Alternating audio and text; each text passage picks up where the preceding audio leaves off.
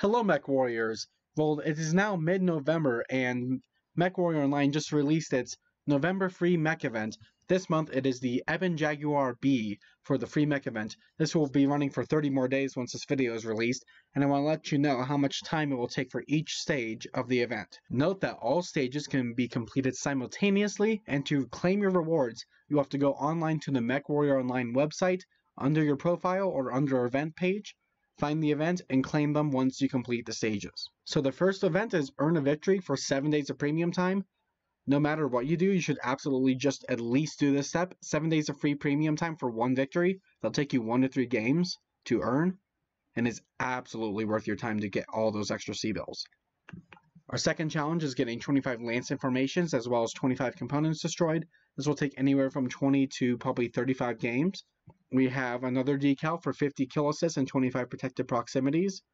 This probably will take around 15 to 25 games, depending on how many mechs you tag and how well your team does.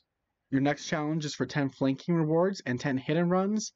This probably won't take that long either. This one, I'm guessing, will take anywhere from 5 to 10 games. So that one's a very quick one to get your color for Escalation Sky Blue. Your next challenge is for the other color as well as 50 mech credits. You have to get a solo kill and 20 scouting rewards. Depending on what kind of mechs you use, if you can spot the mechs first and spam R once they're spotted to get the scouting credit, this will take you anywhere from maybe four to ten games, depending on again how much you can spot, and as well as getting that solo kill.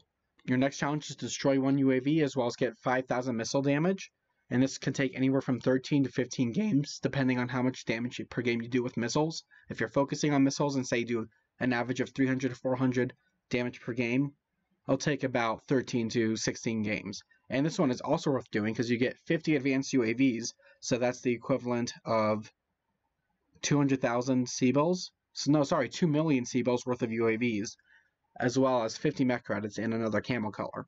The next challenge is to earn a match score of 150 or greater 25 times, as well as do 5,000 damage with ballistic weapons, and this is for general skill points, which is really useful, especially when you're gearing out a new mech. And this one will probably take, well, at least 25 games because you have to get a match score of 150 25 times or more. Let's say you don't get that five times out of 25. So this will take about 30 games to get. And you'll definitely have your ballistic damage up by that point if you're focusing on ballistics. The final challenge is where you get your free mech, the Ebon Jaguar, as the reward, as well as a mech bay and 25 general skill points. This is going to be the largest and most time consuming challenge to complete. Luckily, there's 30 days to do this, so if you play maybe two to three games per day, you'll probably complete this in time. You need to get 50 kills or KMDDs. If you're averaging one kill or one KMDD per game, that will take you only 50 games to do. You'll probably have 10 victories within those 50 games. And your match score, if you're averaging around 300 match score, that'll take you about 33 games to complete, maybe 34, 35, around that range. And your energy weapons will be done well before your 50 games if on average if you're getting one kill or one KMDD per game. This is your most time consuming step, but again, if you're playing three games per day, for example, and you get a kill or a KMDD every single one of those games, this is only going to take you like 16, 17 games to complete this challenge and earn your mech. So it's absolutely worth your time if you put in half an hour a day into the game. That's about the length of three games, actually, probably including search time. And play three games per day for 16, 17 days, you'll probably complete every single challenge on here as long as you're using the right weaponry and you uh, make sure you complete those challenges specifically.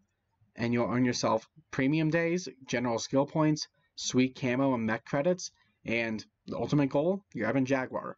So this will probably take 16, 17 days on average if you play three games per day. So not at all time consuming.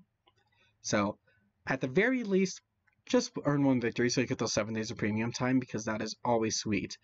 So I hope this video helps just knowing about the time frames that you may need to complete this event and what you need to do. Don't forget to claim your rewards when you want to claim them and complete them on the MechWarrior website.